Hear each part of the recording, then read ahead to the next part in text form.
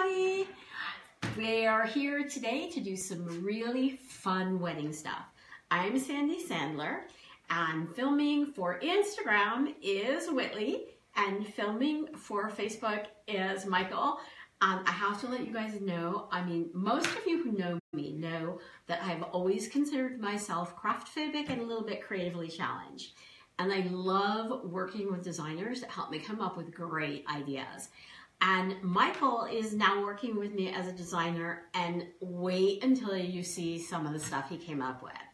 So today we're gonna start with filming um, some pew bows and I'm gonna do a chair bow and then the rest of the month we're gonna be doing a wedding. So to get started, I'm just gonna show you a little bit about how the Bowdabra works.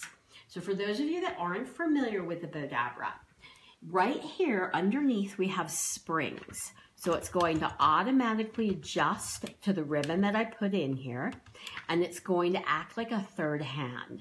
So we also have, we're not going to be using the mini Bowdabra today, but we also have a mini Bowdabra and it's exactly the same as the big Bowdabra. It also has the springs, but um, you also have a measuring tool which makes it so that you can make really exact sheer bows and hair bows. So I'm gonna just take my mini, I'm gonna put that aside. And one more thing, as you guys know, I always like to wear hats with bows on it. And this is my little flower.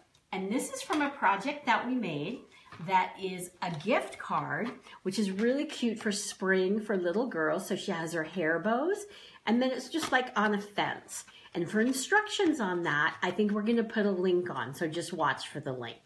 So now we're gonna get to wedding.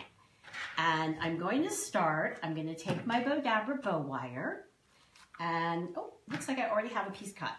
So I'm gonna take my Bowdabra bow wire and I'm gonna fold it in half, which is what I do every time I start a bow.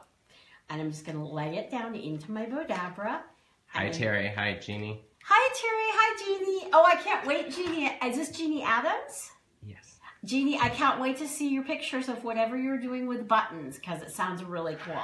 Jeannie's always making bows. So now I'm going to take this. We've already dovetailed the end. And just to let you know, so you have an idea of how long this is, um, it's about 32 inches because I've got it folded in half. And these are my tails. So I'm just gonna fold it in half, take the center, and just scrunch that down into my Bowdabra. Now I have another piece of the same burlap. I thought it would be really fun to do sort of, it is after all Earth Month, so I figured we could do more of a rustic design for what we're doing right now. So I'm just, in case I did that too fast, I'm gonna just take this, fold it, and twist it, and push it down into my Bowdabra. And now I'm going to fold, twist, and push it down into my Bowdabra. And fold, twist, and put it in. Now, this is the same on both sides, but I kind of like twisting because I think that it will allow me to give it a better shape when I'm finalizing my bow. So I'm gonna fold and twist, fold, twist, and push, fold, twist, and push. Oh, and if I can ask you guys, if you wouldn't mind sharing with your friends that we're live, that would be awesome. And one more time in a fold, and this time I'm just gonna scrunch it down. Then I have this really, really pretty, it's kind of a burlap with a lace over it. And I'm gonna twist it and scrunch that down into my Bowdabra. The fold, twist. Oh, one of the questions that I get a lot, so again, I'm gonna fold and twist, just scrunch that in, and I'm actually gonna take my Bowdabra wand and scrunch everything down and bring it right back and do just one more loop here. Just scrunch that down. And now I'm gonna just put my little florals in here and I have one more stem that I'll put in there. And I'm gonna turn this to the side and scrunch it down one more time. And then I'm gonna take, whoopsie daisy, then I'm gonna take the, I'm gonna hold that so it doesn't fall out. And then I'm gonna take my wire, and remember I folded this in half, so now I have a slip knot. And I'm just gonna hold my bow, push it down, and pull it really tight while it's still in the Bowdabra. So now I'm gonna separate the ends and pull it tight right before I take it out of the Bowdabra.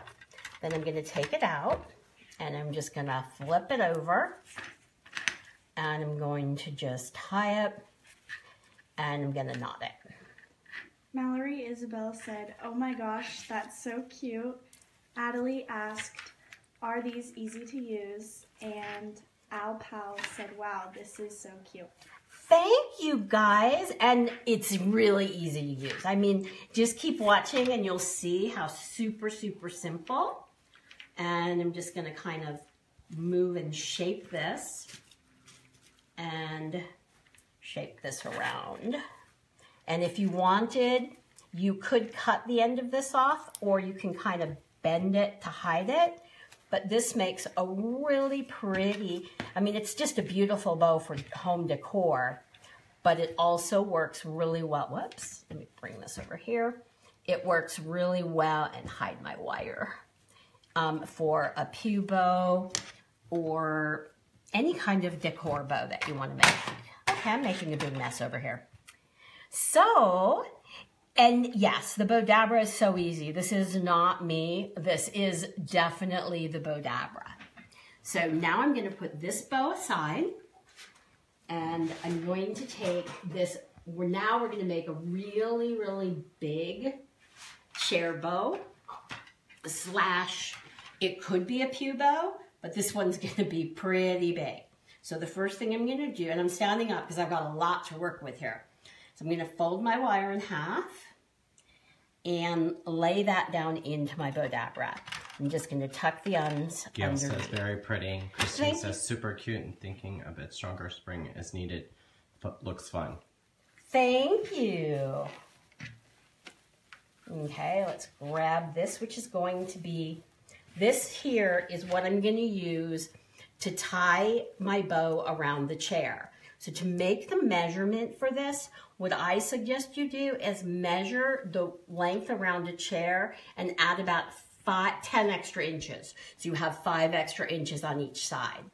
So I'm gonna start by just folding this in half. And um, so once I find my center point, then that's gonna go, and it's kind of like we do with tails. I'm just gonna put Julie this. loves your bow. Thank you. And I'm gonna fold, push that down in here. Then I'm taking this really big, this piece of, um, it's like a jute mesh, and it's pretty wide. I think it's about a 14 inch wide.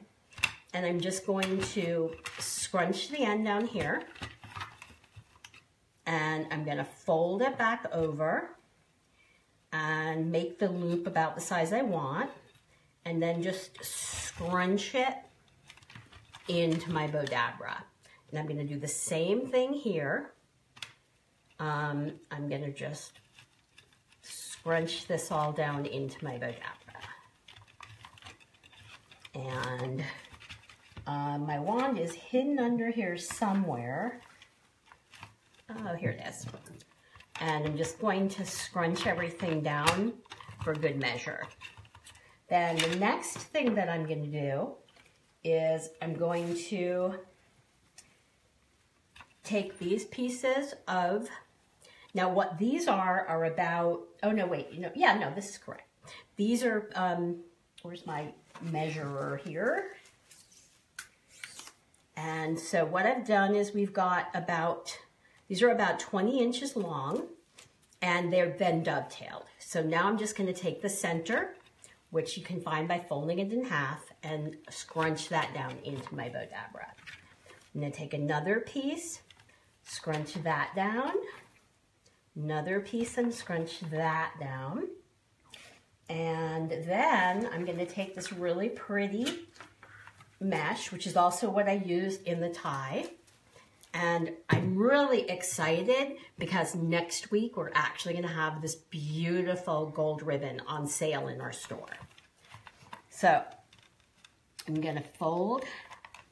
And now here, this is the wrong side and this is the right side.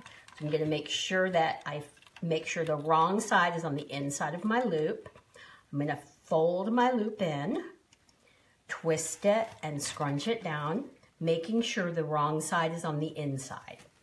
And I'm just going to continue doing this and getting glitter all over everything, which is so much fun. But I'm gonna show you when I'm done with this bow, I'm gonna show you my tip for cleaning up glitter really fast. So I'm gonna just fold this back. Our pal said, what a neat little thing. I need to get one myself. Debbie said, love how easy and Danielle said, I'm underutilizing my Bowdabra. You know, that's a really good comment because a lot of people underutilize their Bowdabra. And that's why I do these Facebook Lives because I can show you so many other ways to use it, like flowers and headbands and pom-poms. And I mean, it's just amazing all the things you can do. So now I'm gonna scrunch down and if you're interested in purchasing the Bowdabra, you can get it online at Michael's, Joann's, um, let's see, Michael's, Joann's, Hobby Lobby. Most of the major craft chains carry the Bowdabras. So Madge says awesome and looks like I need to get me one of these. Wow. Oh, thank you. Debbie said, love the weekly inspiration. Debbie, thank you so much. It, I love that you joined me. It just means a lot that you guys take your time out of your day and join me for my Bowdabra Lives. So now, oops, I got one more here. I'm gonna put that in there. And then I'm gonna do one more. Tamara loves hers. Thank you, Tamara. I mean, I love mine. And it's like, it's just what I love is having new designers that come and give me more ideas, putting different ribbons together. And I love it when you guys share your pictures with me. So I'm just gonna twist it. Now we're, we've got a lot of ribbon in here. So um, I might have to just hold it down a little bit with my fingers, but the Bowdabra is pretty much holding everything in there. So, but this is gonna make just a gorgeous chair bow. Or you could put it on a mantle as just a beautiful decoration. And we're gonna go here, twist it, and just remember I'm keeping the wrong side of the ribbon on the inside of the loop. So I'm gonna make one more loop. I'm gonna scrunch my bow down, I mean my, my bow down with my wand. And one last thing, and I am holding that because I think it might pop out. I'm gonna throw in this really pretty bouquet, twist my bow around, my Bowdabra around, and let me do this so you guys can see what I'm doing here. So now I've got my loop here, pulling my two ends of my Bowdabra bow wire through, pulling it really tight while it's still in the Bowdabra. So now when I pull it out, even with all that ribbon, it's holding. So I'll separate my wire. And this is our Bowdabra bow wire, which you can buy pretty much anywhere you can buy the Bowdabra. And I'm gonna just pull that tight. And now I'm gonna double knot it. And we will shape out the bow. Both Debbie and Danielle said, wow, amazing. Thanks, you guys. I mean, isn't it fun? And it's so, so simple. It's not me. It is the Bowdabra. So let me sit down here and start. Gail says, wow, that's gorgeous. Thank you, Gail. And when Gail says something's gorgeous, I'm like, wow. Because Gail is like so talented herself. Crystal says, look how gorgeous that bow is. Thank Love, you, love. guys. You know, I also wanted to say thank you. There you go. Is that not beautiful? So I'll just hold that for a second because I'm proud of my, my piece of, of art that I just created. But that's the cool thing, you guys. If I can do this, anybody can do this. So now I'm going to work on a more traditional color. of a bow. So I'm gonna, are we ready to put this one aside? And I'm gonna just lay this over here. And we are going to take out, oh, I promised I'd show you my trick for cleaning up glitter. I have this because those of you that know my puppy Vivi, um, we definitely need getting rid of her her hair. But see how easy this is for just getting rid of all the glitter, for cleaning it up. So just get like a lint brush and I'll clean most of this up later. But isn't that cool? So anyway, that's my tip for today for getting rid of the glitter that you get all over everything. So now I'm gonna take my Bowdabra bow wire, I'm gonna fold it in half and lay this down into my Bowdabra, just tucking it underneath so it stays out of my way. And I have this really pretty, Pat said, love it, Sandy. The combination would also make a beautiful wreath. thank you, Pat. I think you're absolutely right. That's what's fun about this. I can't even tell. I think this is the, this is, I think it's the same. Okay, I think this is the right side. So I'm gonna just fold it in half. I've already dovetailed my tails and I'm gonna just scrunch this down into my Bowdabra. It's a little bit hard with the white underneath the lights. So now I'm gonna start here and this is my right side. I'm gonna twist it and fold it. Nope, I did that wrong, see? So I'm gonna start this side up, twist and lower that. It's hard to see this ribbon under the white lights that I have. And I'm just gonna twist it, make it a little bit bigger. Debbie said, so lovely for wedding decorations on the church pews. Exactly, Debbie. Thank you. I, I just love this because it makes making your wedding bows so much more simple.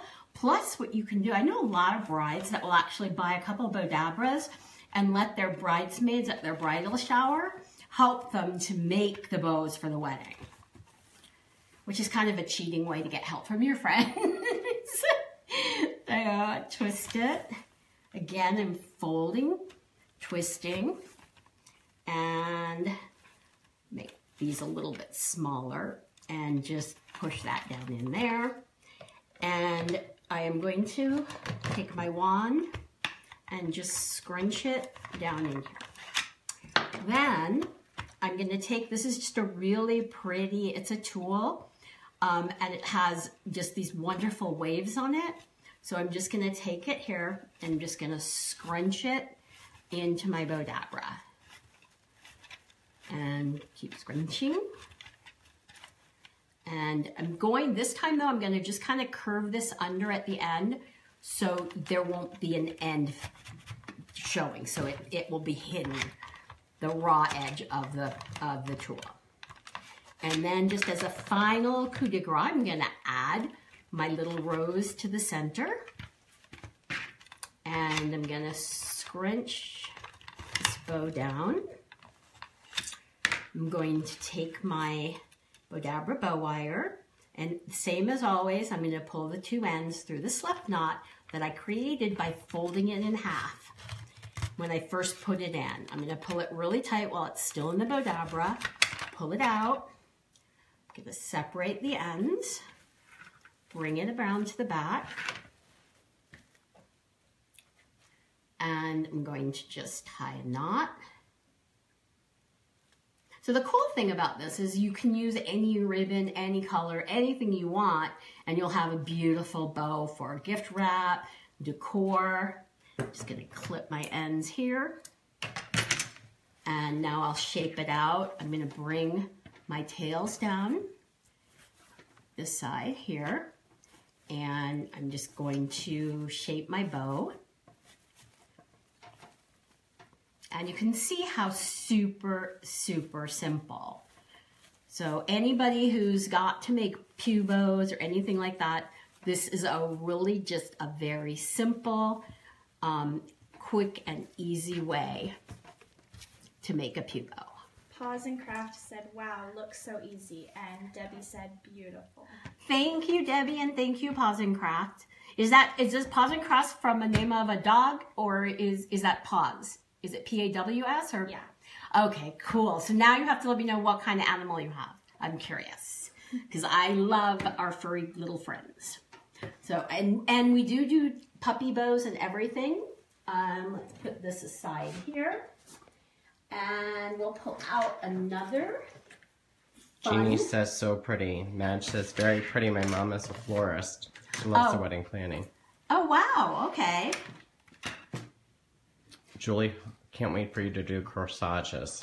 That's going to be, is that next week? I think I so. think in two weeks. In two weeks, we're going to be doing corsages and boutonnieres. I'm not 100% sure. We will be announcing it, but this whole month, we're doing pew bows. Well, that's today. We're going to do corsages. We're going to do headpieces.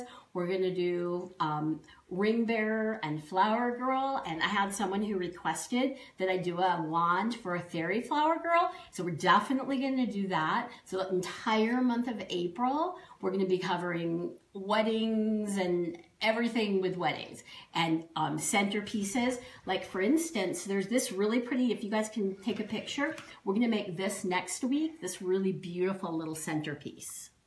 So and super, super, super simple. It's kind of my motto. The simpler and easier, the better. So I've got my Bowdabra bow wire. This time I'm using silver. I've, and there's no reason. You're not even going to see the wire. Fold it in half and put it down into my Bowdabra. Um, and then let me just take all this out of here. Um, so then what I'm going to do Rose said that's a really pretty floral design.